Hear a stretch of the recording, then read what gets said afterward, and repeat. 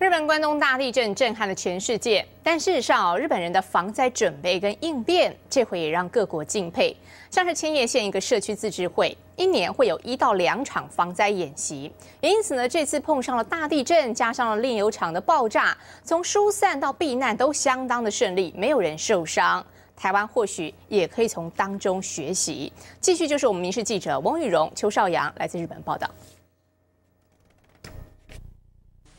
バーッと明るくなってあのオレンジ色に全部がなってそれでもうキノコ雲みたいな真っ赤にキノコ雲みたいなに見えて暑いんですよ。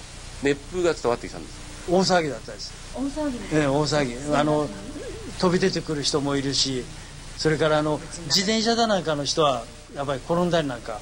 大地震发生后，附近炼油厂接着爆炸，千叶县市原市五井区的居民当时立即被疏散。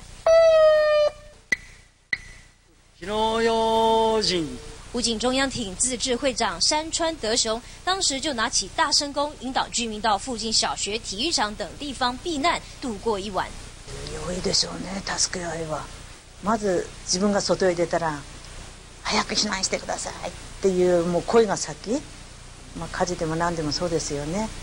うん、車椅子の人とか、それからあの足の不自由な人、あの一人で歩けないような人もいましたので。えそれそういう時はもう近くにいる人が手を貸したり、はい、感動よりもやっぱし必死。もうあの頑張るしかない。辛い時に助かって、うん、まあよろしくお願いします。日本人在地震后有秩序的逃离和互相协助的精神，令全世界敬佩。山川德雄说：“能够这样，除了人民素养以外，平时的防灾意识也很重要。”像武警中央艇自治会自己还有个防灾协会，每年举办一到两场的演习，提醒居民在灾难发生时如何应变。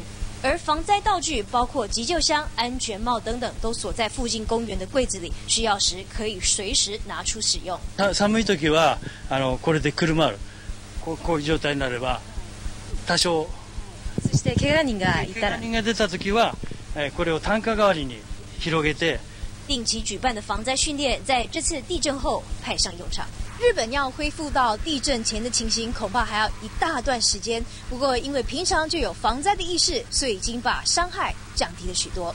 《民事新闻》翁玉荣、邱少阳，日本千叶报道。